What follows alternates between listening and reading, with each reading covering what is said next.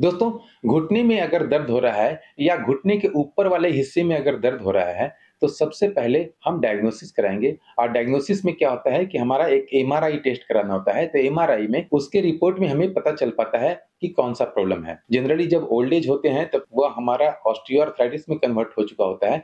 लेकिन उसके पहले जो ईयरलियर स्टेज का होता है, उसमें बहुत सारी स्थितियाँ होती है, जिसमें एक स्थिति है, उसको कहते हैं कॉन्ड्रोमलेसिया पटेला आप जानते होंगे, घुटने के ऊपर जो चक्री होती है, जिसे हम लोग पटेला कहते हैं, जब हमारा पैर मुड़ता है तो वह घुटने के बीच में आ जाता है और जब पैर सीधा होता है तो ऊपर की ओर चला जाता है। मैं थोड़ा सा मॉडल में सिखाऊं तो मेरा पैर का हिस्सा, नीचे वाला हिस्सा ये है और ये ऊपर वाला हिस्सा है। यहाँ पर जो ये आप देख रहे हैं पोजीशन ये कहलाता है हमारा पटेला। इसी को चक्री कहते हैं। ऊपर से टेंडन से ये हमारा जुड़ा रहता है। और यह जब हम मोड़ते हैं तो हमारे घुटने के बीच में आ जाता है। और जब हम सीधा करते हैं तो हमारे घुटने के ऊपर हो जाता है। और यह जब हमारा स्लाइड करके ऊपर जाता है तो इस बीच में, इस पोजीशन में देखेंगे आप तो इसके ऊपर भी हमारा एक लेयर होता है, जिसे हम कार्टिलेज कहते हैं, और उस कार्टिलेज को आर्टिकुलर कार्टिलेज कहलाता है, और यह ऊपर वाला एरिया भी जो है, इस ऊपर वाले एरिया में भी कार्टिलेज होता है, वह भी आर्टिकुलर कार्टिलेज होता है।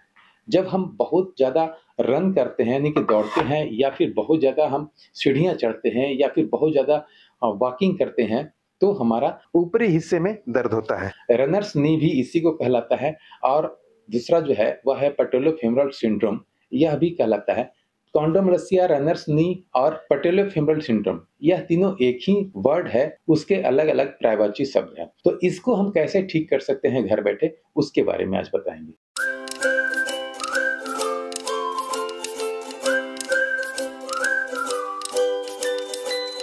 नमस्कार दोस्तों, मेरा नाम डॉक्टर मुकेश कुमार और आप देख रहे हैं संजीवनी हेल्थ सॉल्यूशन आज के इस टॉपिक में हम बताएँगे कि कॉन्ड्रोमलेसिया पटेला जो घुटने के दर्द का ईयरलियर स्टेज में होता है, उसको हम कैसे ठीक कर सकते हैं अपने घर बैठे ही। तो वीडियो को बिल्कुल अंत तक देखिएगा और इसे अप्लाई ज़रूर कीजिएगा, क्योंकि जानते हैं कि हमारे द्वारा जो भी एक्सरसाइज बताया गया है, वह सभी के सभी हंड्रेड परसेंट कारगर है और आज तक मुझे लगता है कि लगभग पचास हज़ार आदमियों ने अपने घुटने के दर्द को तरह तरह के घुटने के दर्द को ठीक किया है। किन्हीं को एसीएल का प्रॉब्लम था, वो ठीक हुआ है? किसी, किन्हीं का मिनिस्कस टीयर का प्रॉब्लम था, उनका ठीक हुआ है? और किसी का ग्रीस की कमी हो गई थी, उसको ठीक हुआ है?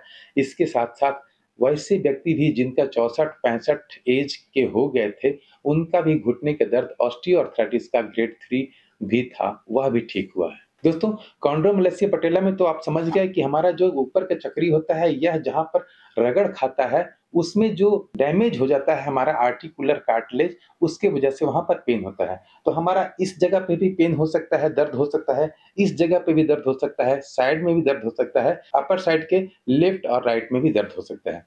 तो इसे हम कॉन्ड्रोमलेसिया पटेला कहते हैं। पटेलो फिंड्रोम सिंड्रोम कहते हैं या फिर रनर्स नहीं कहते हैं तो इसको हम ठीक करेंगे अपने घर बैठे ही और एक्सरसाइज के माध्यम से। इस एक्सरसाइज को करने के लिए हमें पाँच से छह एक्सरसाइज करना पड़ेगा तो मुश्किल से लगता है कि 20 दिन तक आप जब कर लेंगे तो आपको 90 परसेंट तक ठीक हो जाएगा। अगले 20 दिन भी अगर कर लेते हैं तो आपका पटेले फिमरल सिंड्रोम का अगर स्टेज फोर तक भी पहुँच गया था तो वह भी आपको हंड्रेड परसेंट ठीक हो सकेगा। क्योंकि जब हमारा आर्टिकुलर कार्टिलेज जो है, वह डिजेनरेट होने लगता है तो हमें कुछ कुछ सप्लीमेंट भी लेना होता है। उसके बारे में आगे मैं बताऊँगा। दोस्तों कॉन्डोमलस्य पटेला में सबसे जो पहला एक्सरसाइज करना होता है, चाहे तो आपके पास अगर जिम बॉल है, जो छोटा सा बॉल होता है, या बॉल है, तब ठीक है। और अगर यह बॉल नहीं है तो किसी भी तरह का जो कुशन होता है पिल्लो होता है, उसका सहारा ले सकते हैं। जिस पैर में हमें प्रॉब्लम है, उस पैर को, किसी दीवार के सहारे, मैं दीवार के सहारे इस बॉल को रख रहा हूँ, और अपने इस पैर को, यह पैर मैं सीधा रखूँगा, और इस पैर से हमें दीवार की तरफ़ बॉल को प्रेस करना है। बॉल को प्रेस करेंगे 15 से 20 सेकंड तक काउंट करेंगे 20 सेकंड के बाद फिर रिलैक्स। फिर से मैं, दोनों हाथ पीछे से हम बिल्कुल आराम से सपोर्ट ले लेंगे। अपना 20 सेकंड तक दबा के रखेंगे इस तरह से। उसके बाद फिर रिलैक्स। इस तरह से कम से कम हमें 20 रिपीटेशन करना है। दोस्तों, इसमें दूसरा एक्सरसाइज करने के लिए इसी बॉल को हम यहाँ पे रखेंगे। या फिर अगर आपके पास बॉल नहीं है तो आप पिल्लो का इस्तेमाल कर सकते हैं और अपने दोनों घुटने से इसे प्रेस करेंगे और उसके बाद भी हम 30 सेकंड तक रखेंगे इस तरह से। एक, दो, तीन, चार, पाँच, इस तरह से हम तीस सेकेंड तक प्रेस किए हुए रहेंगे और उसका फिर रिलैक्स। फिर से हम अपने घुटने को दबाएँगे बॉल को और 30 सेकेंड तक रोकेंगे और फिर रिलैक्स इसको भी हमें कम से कम 20 रिपीटेशन करना है। यह हो गई बॉल से, या फिर कुशन या पिल्लो से। अब हमें क्या करना है? दूसरा एक्सरसाइज इसमें करने के लिए हम लेट जाएँगे। मान लिए कि हमारा लेफ़्ट पैर में प्रॉब्लम है तो दाहिने पैर को मैं मोड़ के रखूँगा और इस पैर को बिल्कुल इसके सहारे मैं ऊपर करूँगा और इसको अपने तरफ़ खींचने की कोशिश करूँगा। खींचूँगा सिर्फ़ खींचने की कोशिश करूँगा और कुछ नहीं, पंद्रह सेकेंड तक रोकेंगे और फिर रिलैक्स। फिर से उठाए, अपने पंजों को अपने तरफ़ खींचे, पंद्रह सेकेंड रोके और फिर रिलैक्स। इसको भी हमें कम से कम 20 रिपीटेशन करना है। इस तरह से दूसरा एक्सरसाइज कर लिए।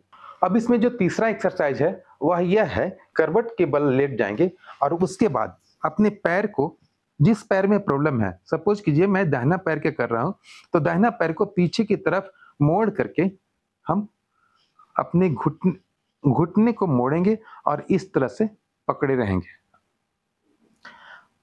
20 सेकेंड तीस सेकेंड तक पकड़े रहेंगे और उसके बाद फिर रिलैक्स ठीक है? इस तरह से हम घुटने को मोड़ेंगे और अपने नितंबों पे इसे सटाएँगे सटा कर रखे रहेंगे और फिर 30 सेकेंड के बाद फिर रिलैक्स। देखेंगे यहाँ पर से थोड़ा सा कट से आवाज़ आएगी तो हमारा धीरे धीरे वह आवाज़ भी खत्म होगा। कम से कम 20 रिपीटेशन करना है। इसके बाद जो चौथा एक्सरसाइज इसमें है, वह है कि हम अपने साइड से इस पैर को ऊपर करेंगे, कुछ देर रोकेंगे, उसके बाद फिर डाउन करेंगे। ठीक है? सपोज़ करें कि मेरा दाहिना का प्रॉब्लम है तो दाहिने पैर को हम बिल्कुल ऊपर इस तरह से रखेंगे। 15 से 20 सेकेंड तक काउंट करेंगे। उसके बाद फिर धीरे धीरे रिलैक्स। अब फिर से उठाएँगे। 15 से 20 सेकेंड तक रोकेंगे। और फिर रिलैक्स। ठीक है? यह चौथा एक्सरसाइज हमें कम से कम 20 रिपीटेशन करना है और यह सारी एक्सरसाइज सुबह और शाम दोनों टाइम करें तो आपको जल्दी रिकवर करेगा। एक एक्सरसाइज और मैं बता रहा हूँ, उसको अगर आप कर लेते हैं तो रिकवरी में हमें और भी कम समय लगेगा। अपने दर्द को ठीक कर लेते हैं तो कुछ दिन और एक्सरसाइज कर लिया करें ताकि वह ज़िंदगी भर के लिए वह हमेशा ठीक हो सके। दोस्तों कॉन्ड्रोमलेसिया पटेला में हमारा जो पांचवा एक्सरसाइज है, वह बहुत ही महत्वपूर्ण है, क्योंकि जब भी सारी एक्सरसाइज हम करेंगे, तभी हमारा प्रॉब्लम ठीक होगा। तो उसके लिए हमें अपने दोनों पैरों को मोड़ लेना है और मोड़ करके अपने हाथ को बिल्कुल नीचे रखना है, और जिस जिस तरह से हम लोग कमर का एक्सरसाइज करते हैं ना, उसमें ब्रिजिंग एक्सरसाइज कहलाता है, वही एक्सरसाइज इसमें भी करना है। इसमें दो एक्सरसाइज को मिला करके हम करेंगे, इस तरह से अपने पैर को रखेंगे, अपने कमर को उठाएँगे और 30 सेकेंड तक काउंट करेंगे। उसके बाद फिर नॉर्मल। कोशिश तो रहे कि जहाँ आप एक्सरसाइज कर रहे हैं, सामने में अगर घड़ी रहेगी तो आपको काउंट करने की ज़रूरत नहीं। सामने घड़ी देखते रहेंगे और उस हिसाब से आप एक्सरसाइज करते रहेंगे। इस तरह से अपने दोनों हाथ नीचे सटा रहेगा।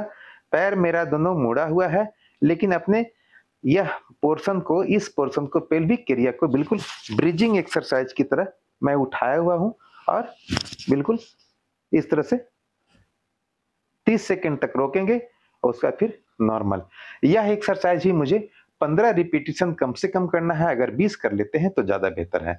इसी को फिर से हम एक और एक्सरसाइज करेंगे। इसी में पांचवा एक्सरसाइज में ही वह एक्सरसाइज क्या है कि हमें जिस पैर में प्रॉब्लम है, मान ली कि हमको कॉन्ड्रोमलेसिया पटेला का प्रॉब्लम इसमें है तो इस पैर को हम इस पर रख लेंगे। ठीक है? और उसके बाद इस पैर को हम अपने छाती के तरफ़ सटाने की कोशिश करेंगे। ठीक है? इस तरह से। है ना? इस तरह से सटाएँगे 15 से 20 सेकंड तक रोकेंगे, उसके बाद फिर रिलैक्स फिर से।